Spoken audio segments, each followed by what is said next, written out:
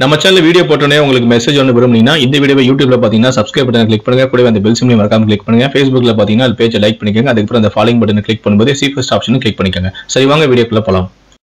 கேரளா மாநிலம் திருவனந்தபுரம் அருகே கல்லம்பலம் என்ற பகுதியை சேர்ந்தவர் தான் சரத். இவர் வெளிநாட்டில் பணிபுரிந்து வந்தார். அவருக்கும் ஆதிரா வயது இருபத்தி நாலு என்ற பெண்ணுக்கும் சமீபத்தில் திருமணமும் நடந்துள்ளது. திருமணத்துக்காக சரத் சொந்த ஊரான கேரளாவுக்கும் வந்தார். இந்நிலையில்தான் திருமணமான இருபத்தெட்டு நாட்களிலேயே ஆதிரா கணவர் வீட்டின் கழிவறையில் இறந்தும் கிடந்தார்.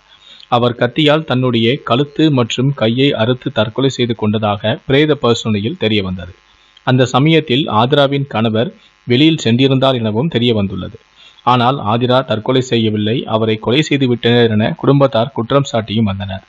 இந்நிலையில்தான் ஆதிரா இறந்த சில நாட்கள் கழித்து அவரின் மாமியாரான ஷியாமலா கோழிப்பண்ணையில் சடலமாக கண்டெடுக்கப்பட்டும் உள்ளார்.